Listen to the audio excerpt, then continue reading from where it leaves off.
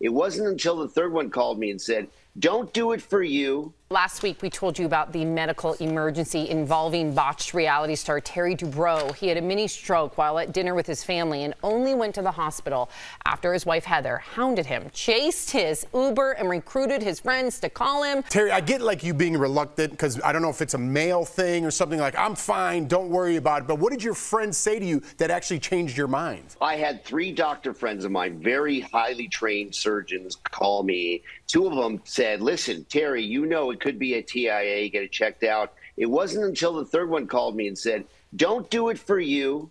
We know you're healthy. Do it for your wife, Heather, and your son who are traumatized watching you go through this. Mm. They're not going to sleep. They're going to worry about you. And as soon as they appealed to me about making my family feel better, I went, okay. And I redirected wow. the Uber. Thank, thank goodness I did. Oh